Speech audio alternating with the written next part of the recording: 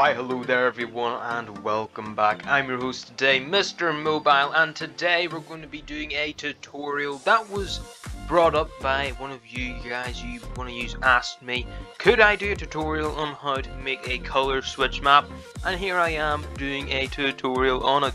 Before we start, as you can see I'm wearing the brand new back bling in the Fortnite item shop and I just want to put a little ad in there why don't you go ahead and use support creator code mobile dash scrap it helps me out and we need to hit a goal before the end of the year so I can keep uploading maps and all that good stuff I think anyway. But yeah pretty cool back bling pretty cool set. And anyway let's get into the video so you're going to obviously need to get your colors and that's pretty simple. All you gotta do is you gotta go to parkour here and you've got black you've got blue you've got green you've got more black you've got orange purple red. I suppose that's yeah it is purple. And you got white. So we're going to go ahead and each of these and grab the floor. You can grab any floor it doesn't matter. I'm going to be grabbing the first floor piece of information here guys black and white is not a color no no no no no black and white is a shade I know that because I done Earth but anyway, let's go ahead and just build a little pillar up here so we can actually kind of have an area to fight in. So we got ourselves a little box. In no way, is this like actually a box? We got five that way, five that way. It was complete guess and I actually made a box. That's pretty cool. Anyway, we're going to go ahead then and just place down floors here randomly. Yeah, let's just like, like, you know, select them completely random here. Make sure though you don't have colors, like really, like if I put a red here, that's going to be pretty bad having a red right there. And then putting a black here is pretty bad as well, because you could just be in between both of these. You want them to be kind of far apart from each other. So let's go ahead and put a white down. We haven't got a white yet. Put another orange there, why not? And we'll put a purple. Okay, so now we've got all those placed out and we've got this kind of messed up looking disco floor here. Then of course you're going to either want to put some kind of barrier along this wooden bit or else some walls. Okay, so that is the course basically all made out. You would start here and you would walk around and stuff, you know? Now the next thing you're going to need is a tile trap, I think that's what's called, so you type in tile. Trick tile, okay It's a trick tile. Yeah, we're gonna need actually one more, which falls on the floor. But anyway, let's go ahead and put these all underneath the floor here. These are going to be what breaks the floor. You're coming with me. You're going to be the last ones. Yeah. Okay, now we've got all those placed down. Now the thing we're going to need next is actually this here device, the random number generator. And we're also going to need a trigger. Once we've got those, that is really everything you're going to need except for one more, which is the grind power up. Weird name, because it's chips and uh, don't know what grinding's got to do with chips, oh well. Let's go ahead grab this guy. I'm going to put him on a grid 1 so I can get him nice and flat here. We're going to go into this guy and we're going to set the value to 7. Winning value does not matter, but we're going to put it to 0. Rolling time, let's go ahead and put this to 10 seconds. Pick each number once. No. Reset delay. Let's go ahead put that on 5 seconds. Now you're going to want to turn zone on. It doesn't really matter what way. We're going to do forwards. And it doesn't even really in here you need to change except you're going to go down here and activate and receiving from channel 1 on when transmit on channel 1 because on when if you put this to 0 any number that's above 0 is a win anything that's 0 or below is a lose you can't get anything lower than a 1 with this device so you're always going to get a winning score now we're going to go ahead and grab the triggers here I'm going to put this onto a grid of 4 I'm going to go into here and we're going to make it trigger on channel 2 and we're going to disable the sound of VFX, why not. And we're going to bring these across here. 3, 4, very exciting stuff here guys. Number 5, number 6, number 7, and number 8. No, that's all those set up. Why is there eight? One, one, two, oh, oh wait, no, it's channel eight. Stupid me. Another device, if you wanted to bring up what color it's going to be on the screen, you could either use the HUD message device, which is what I'm going to use, or else the billboard device, which I'll just show a wee bit. So some of these maps have like boards on each corner, kind of like this here, where there's a big, big board, like a 3x2 on each side, and it'll bring up what color it is. But that's kind of easy when you're in here and you're like, oh wait, what color did it bring up on my screen? Let's just look up. Oh, green? Okay, that's pretty simple, then let's go ahead to green. So I don't really like using those, I just like using the HUD message device. But it's going to be the exact same settings, so I'll just show you them here. So if it was set visible when receiving from, and then you're going to place another one down here, and it's going to trigger from channel 1 and transmit on channel 9 and make sure it has a delay of about 5 seconds. Then in here, if it was this or else this device here, it would go into this and we would do channel 2 and disappear on channel 9 and we would go in here and write green. So we got green there, that's going, that would appear on the screens and you do that for every colour so it would be um, make appear on channel 3, on channel 4, channel 5 and so on. The HUD message device, on the other hand, is you would type in the color, green. Oh, wow.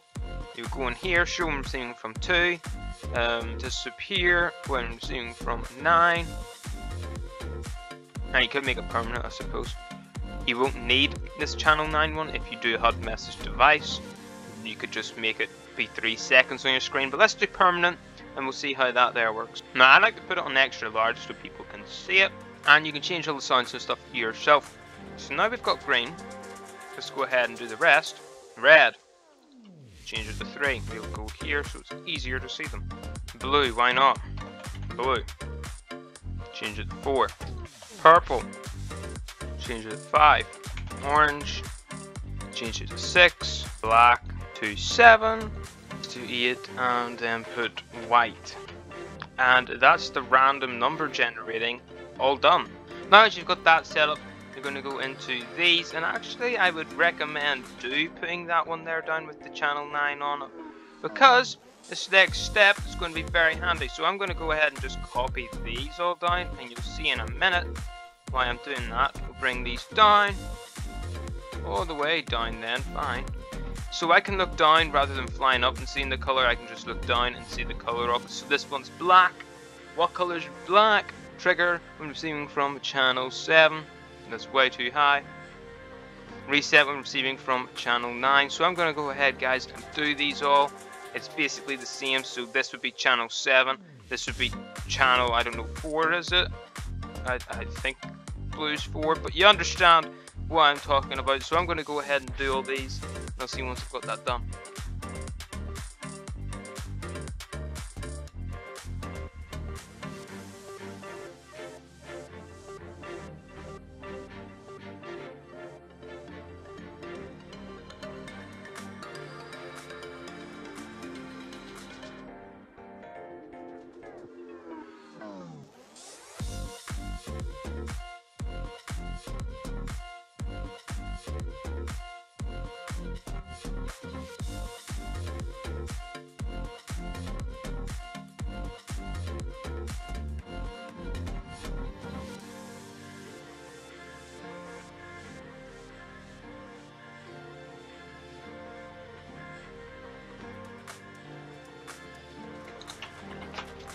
And there we have it, we finally got them all done.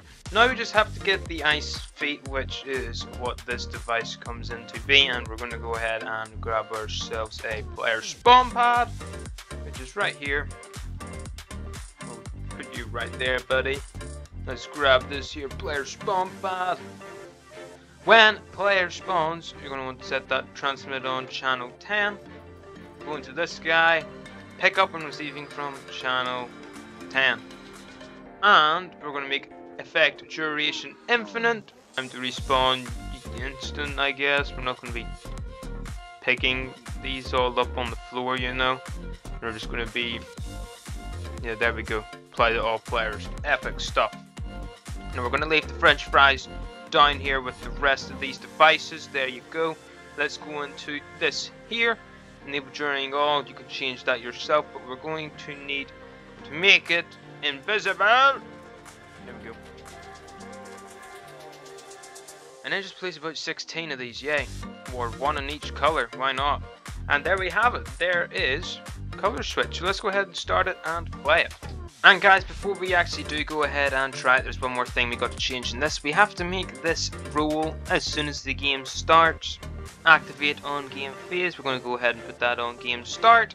Now we can go ahead start the game and it will work. I don't know why I just got half health there. That is a glitch. Bug, whatever. Okay, so it's rolling. Purple. We back out. Oh. So, um, yeah. There's how you make inverted color switch, I guess. okay, so there is obviously a wee step that I miscalculated, which, um, I don't know how I didn't see that coming. We're going to go ahead, grab these, just put them above at the map. Then we're going to go ahead and we're going to go actually and put this onto this and we're going to put these on top of each other like this and you'll see why in a second doesn't matter if they're very straight or not I'm just going to put them nice and unneat now this here what I'm doing is just making a quality of life change. So we've got all those done. Now hold on a second mister. There we go. So now we've got all of those set out. We've got channel 2 all the way to channel 8, so 2, 3, 4, 5, 6, 7 and 8. We're going to go ahead and delete these ones that we did do earlier and delete this one. Now we're going to go ahead and place these on each section. So we're going to go ahead, place all these there, all of them there, all of them there, all of them there, all of them there, all of them there, and all of them there. So now we've got all these triggers. Now we're going to delete this one, on that one, that one, and that one, that one, and that one, that one, that one, that one, and lastly that one.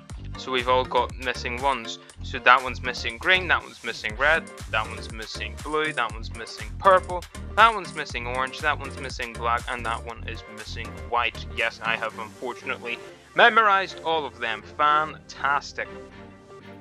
Now, if we do it that way, it's going to trigger every single one of these HUD devices, which is not what we want. So we're going to go ahead and grab another trigger and go into here, and we're going to make it transmitted on a brand new channel, which will be channel 11. Then we're going to go in here, change it over to channel 12, channel 13,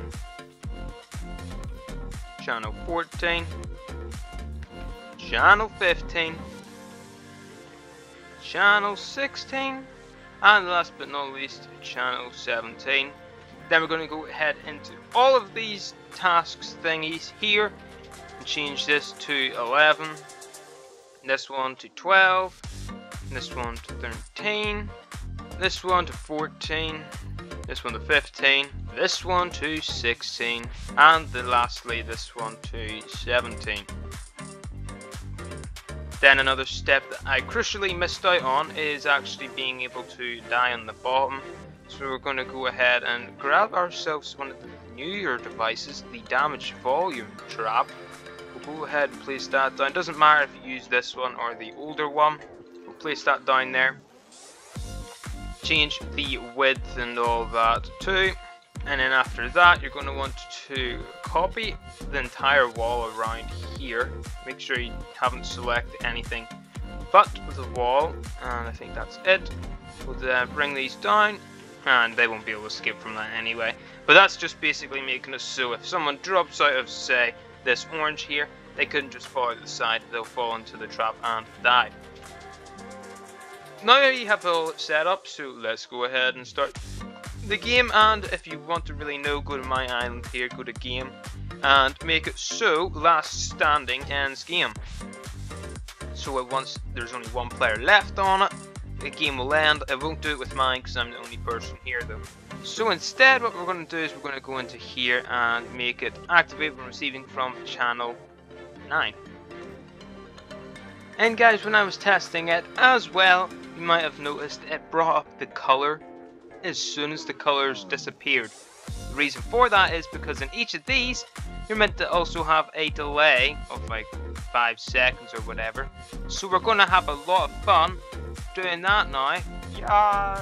Alright, we're doing this again for the again this time. Alright, we're here. Checking the place out. Black. Nope.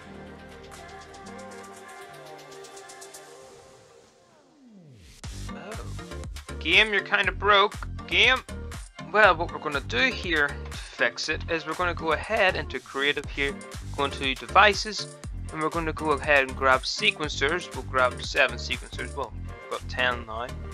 And each sequencer is going to go ahead and trigger each trigger. Four, five, six, seven. So Fortnite Creative does have some limitations to stuff which is really really annoying. But oh well. Now we're going to go ahead and copy all those ones, copy all of those ones, copy these ones, and those ones. So that's 42 triggers plus another 7 that that thing would have had to trigger. Which is uh, actually quite a lot. So um, instead we're going to go ahead and uh, put them in here separately and then make it so when the triggers go off and that's inside the random number generator it will trigger off these. Go ahead into hmm. here start sequence when receiving from channel 11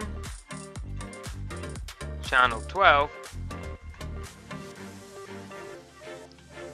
channel 13 channel 14 channel 15 channel 16 and last but not least channel 17 and this is all set up so it only has none no loop so it will only go once across and no more.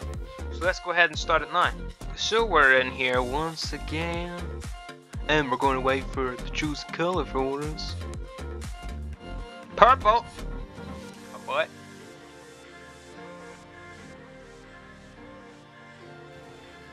and there we go. So that's quite unfortunate the random number generator thing doesn't work as well as that. Orange, unfortunately, mister, things haven't spawned in yet. Thank you very much. Okay, dokie, we got that again. I'm such a pro, guys. So yeah, just tweak around with the timing on these things, and I'm sure you will find some way to do it. But timing is all that matters. That's basically how you make color switch in Fortnite Creative. Anyway, I'm your host today, Mr. Mobile. Remember to use code mobile-scrap in the item shop. And I'll see you in the next one. And guys, before I go, if you're wondering why I always add mistakes and stuff in the tutorials, I always just like to show that I'm not perfect. I don't know every single thing about Fortnite Creative. I like showing my mistakes in the makings rather than saying, oh yeah, I knew this straight off the bat. I like showing the progress of me actually creating the tutorial. So sorry if you're wondering why I do that, but that is the reason why. Anyway, as I said, I'm your host today, Mr. Mobile, and I'll see you in the next one. Goodbye! Well, that's kind of weird.